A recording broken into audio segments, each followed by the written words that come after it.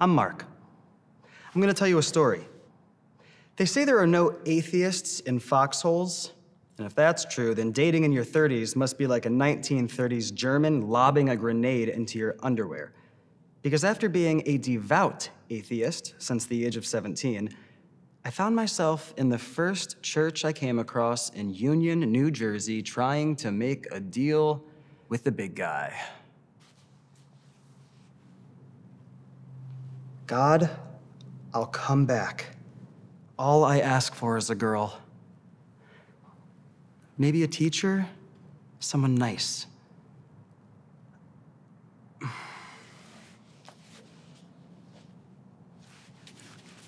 Yeah, let's definitely say a teacher. I like teachers.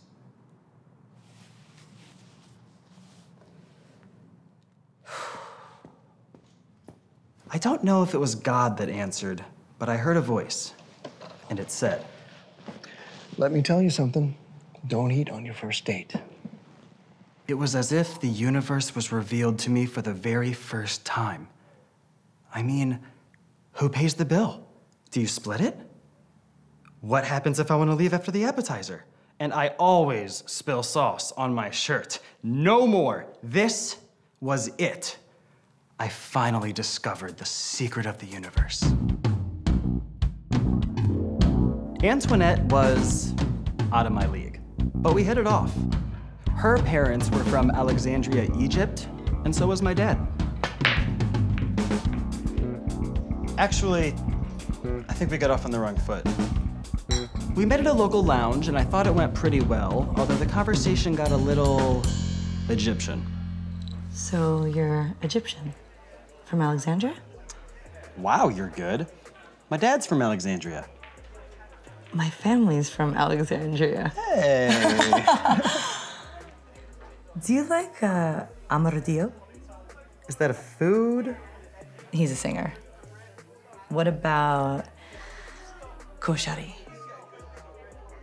Singer? It's a food. Oh.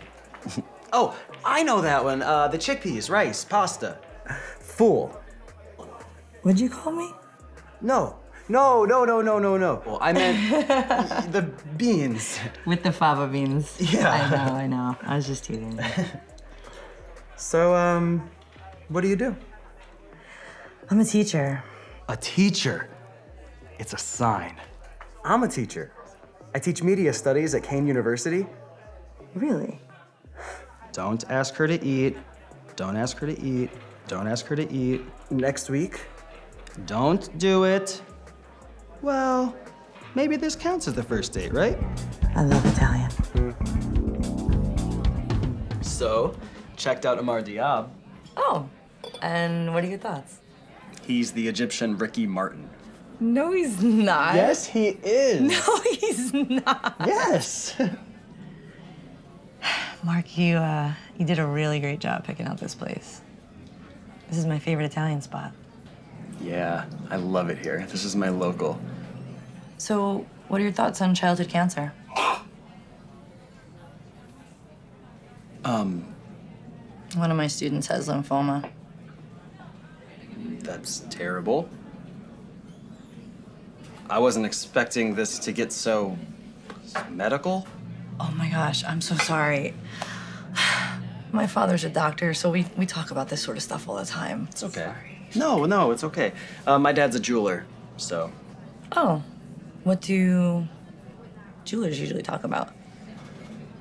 cursing mostly. At least when he talks in Arabic, it all sounds like cursing. Yes, it does. Mark, do you have any idea how hard it is to find a Coptic guy to date? No, I was raised Catholic. Wait, what? I- thought you said your last name was Boutros. It is. And, and your dad's Egyptian, right? Yeah. Well, I mean, he's from Egypt. But my great grandfather's technically, um, I think he was from the Ottoman Empire, so it's probably Syrian Wait a minute, or. wait a minute. Have you been lying to me? No? What, what, what's happening? You, you led me to believe that you were Coptic.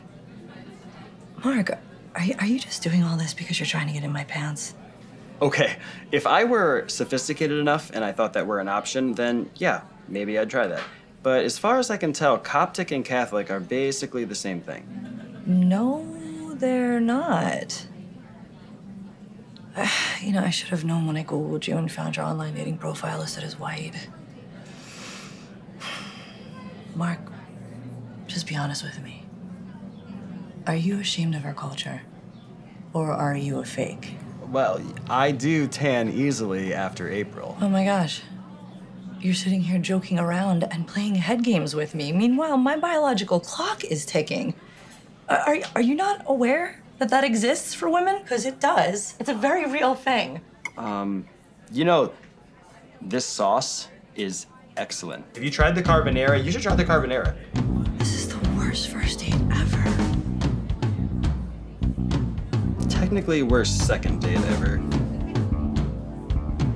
No, first and last. Good night, Mark. Aside from instigating Christian jihad, I had a great time. Do this again? I am so sorry I am late. Uber takes forever to get to meat packing around this time of day. Really good. Apparently, I've been drinking grape juice my entire adult life. I'm, I'm sorry. Um, what was your name? Sarah was a princess, living in Brooklyn, hailing from the royal house of Suffolk County, South Shore. East Hampton, between Martha Stewart and Bill and Hillary. Do you know the Clintons? They just sold. But you're a teacher. Yes, Daddy thought that I should do something productive, and Mother used to be a teacher before she got married. Tapenade with olive oil crostini. And for the gentleman, this. Sir, I can't possibly eat all of this. I just had my stomach stapled.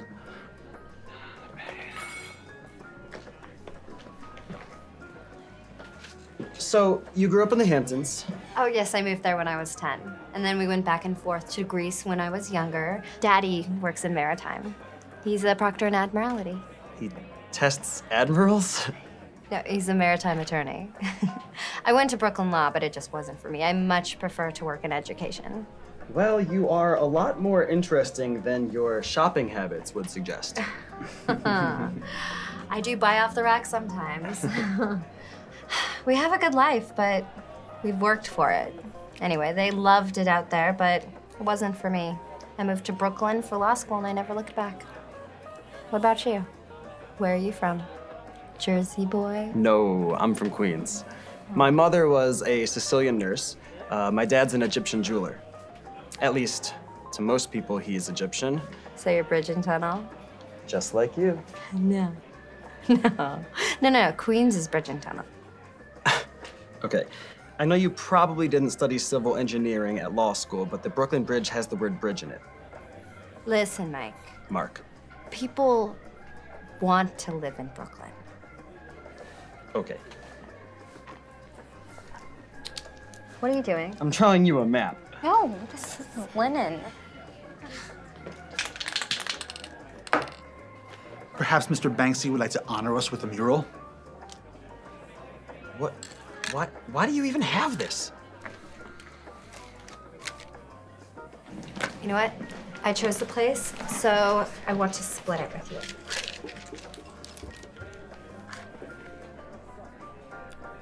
Well, It's $140, so. Is it? Oh, he, he didn't comp you the wine or the, the, the, um... Give me that napkin back. Yeah, I want to review division with you. I have no idea why I was running, but I ran. Maybe I had to get away. Maybe the movement was calming. Maybe I was so hungry I had to find a plate of something that won't get blown away by a light breeze. Empanada? Oh.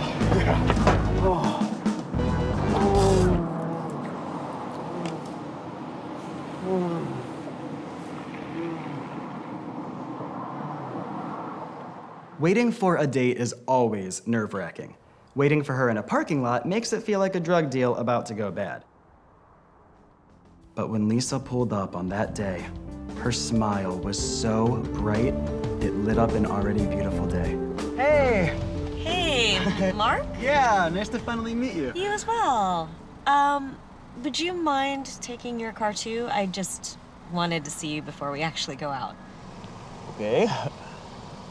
Do I pass? So far. Hey, I hope you don't mind that I asked you to pick the place. I just don't really know this area very well. oh, no, not at all. Uh, I should probably let you know I don't drink that much. No, that's cool. So where are we going? A bar is a funny place to meet for a non-drinker. Yeah, I know. I really don't drink that often. I'm such a novice. One time I tried to order a Roman Coke and I didn't realize it's supposed to be called a rum, and, Coke. nice. Here, uh, can I get you something? Oh, really? Of all the gin joints in all the towns in all the world, and she walks into mine. He, he walks into yours. I'm a man. You don't say. You guys know each other? Yeah, he gets around. What can I get for you? Um, you know, I think I'm gonna make an exception tonight and I will try the Malibu Bay Breeze. Very good. And you? I think I'll go with a uh, Roman Coke. Don't get cute. I heard the story. So, um, how do you know this place? You grew up around here? College? Where'd you grow up? Queens. And I loved it so much, I went to Queens College. I'm from Queens. Really? Yeah, I moved here in third grade.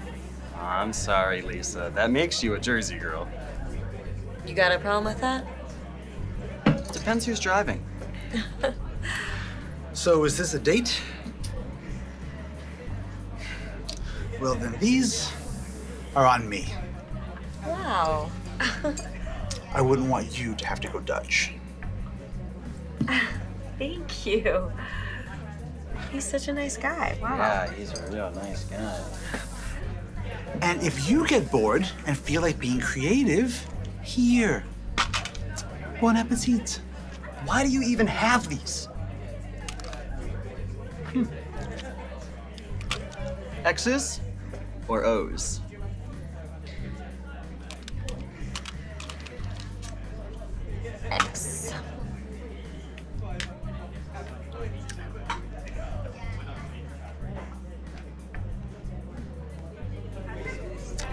Popular.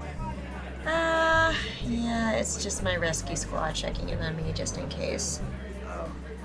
So should I expect SEAL Team 6? Nope. I told her to go to bed. You know, they have a kitchen here if you want to see a menu, maybe grab a bite to eat, bite to eat, bite to eat, bite to grab a bite to eat. So, what are your thoughts on childhood cancer? Don't eat on your first date. I chose a place. Let me split it with you. My biological clock is ticking. Actually, I was hoping that we could maybe just go for a walk or something. Oh, okay. You don't even want to split some fries? It's nice outside. Okay. Yes, I am the teacher. Either that's written on my forehead or you are a really great guesser. so, I have a question. Mm-hmm. Do you have an Asian fetish? What? I was just wondering if you've ever had an Asian girlfriend before. Actually, I was engaged to a Korean woman. Aha, I should have known. Well, what's that supposed to mean? Have you ever dated an Egyptian guy before? Actually, my ex was Egyptian. So you're the one with the fetish. Uh, no, it's not the same thing. I didn't even know you were Egyptian. That's even worse. You sniffed me out. Okay, fine. Maybe I have a type. Well, maybe I do too. Oh, really? And what type is that? Beautiful Asian girls? Teachers who don't know the names of drinks. Haha, very funny. hey, there's a, an amazing Ethiopian restaurant right around the corner. Would you want to go check it out? uh, Actually, Lisa, my stomach is kind of bothering me. Do you mind if we just grab a seat? Sure, no problem. You doing okay? Yeah. I remember Um, do you what we were a here? saying. Oh yeah, there's an Egyptian restaurant right around the corner. Mm-hmm. Oh, but you're not feeling well. No, my stomach kind of hurts. Oh hurts. yeah. Do you mind if we just no, kinda, not at all. hang out? Yeah, sure. Oh, I think I just got another splinter right in my Oh, really? right leg. Yeah. These benches, right? So this is your old stomping ground. Well, I was living with my parents, so I wasn't really doing much stomping. Plus, I was really focused on school at the time. Took me 10 years to get a four-year degree, history major. By the time I finished and graduated, my final thesis was on my freshman year. what about you? Uh, I uh, did my undergrad and master's in five years. I was an education major. You stuck with that. Yeah, I pretty much knew I wanted to be a teacher since I was in second grade. And I've been at the same school ever since. How about you? I teach media studies at a college, Wow, that's mm-hmm. really cool. 13th grade. Right, mm-hmm. 13th grade. Funny.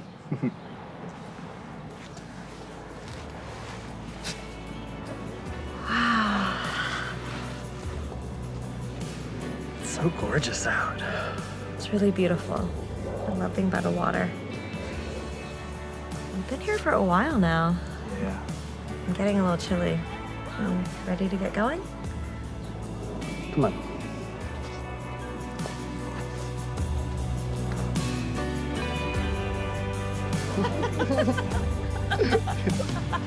that was so much fun. Uh, it was. Yeah. Thank you so much. Lisa, I had a great time. I did too. Hung out for over five hours. Wow. it's kind of amazing. Yeah.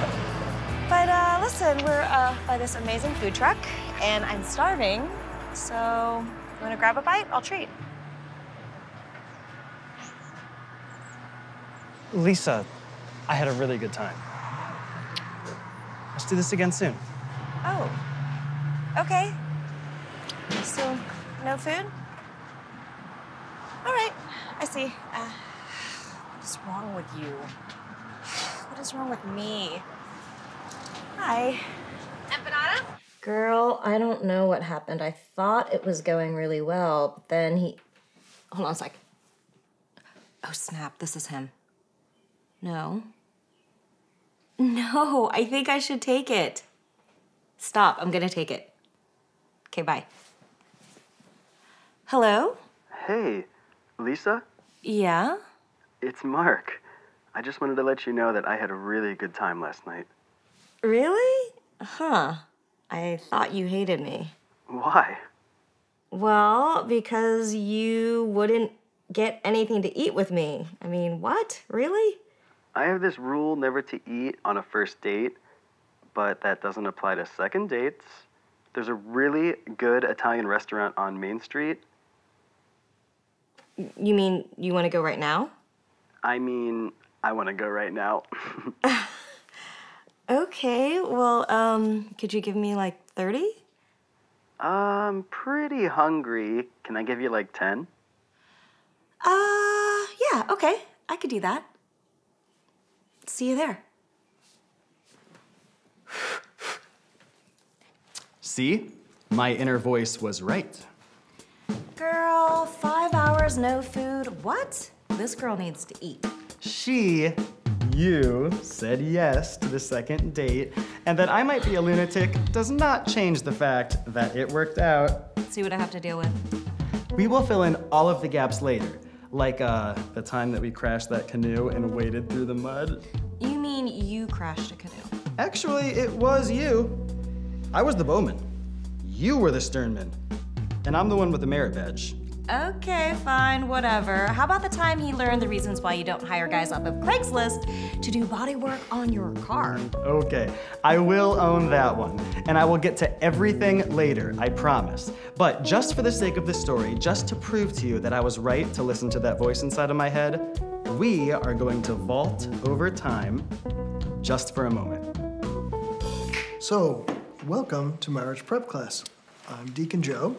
And I'm Julie. I'm Mrs. Deacon Joe, and I'm so excited for you guys. Welcome. Hey, isn't that the bartender from the place we went to on our first date? Hi. Oh, you have got to be kidding me. Hi. Hey, how you doing? So, marriage can be a wonderful institution. But who wants to live in an institution? Ouch!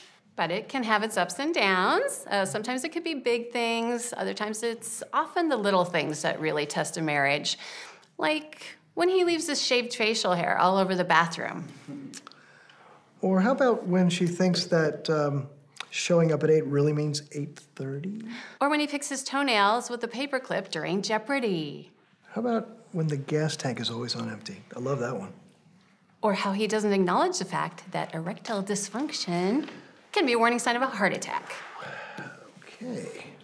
But anyway, remembering how you guys fell in love in the first place is going to get you through all of those tough times. So for this exercise, I want you to think really hard and answer this question. It might be the most important question of your life. Why do you want to marry the person that you came with today?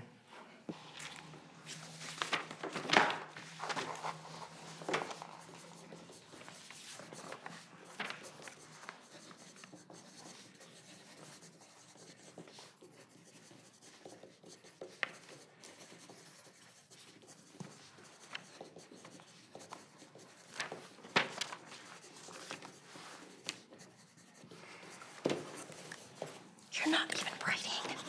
I'm finished. Yeah, I bet you are.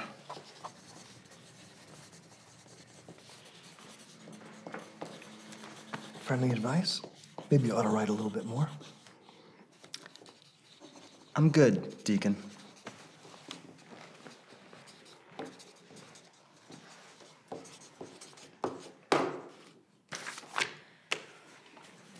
So, who wants to read first? He would.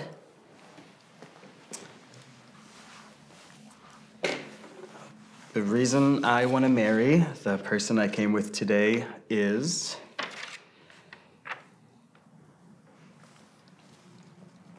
She's the answer to my prayer.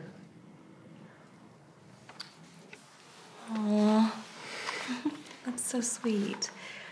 Yo, fist bump, son.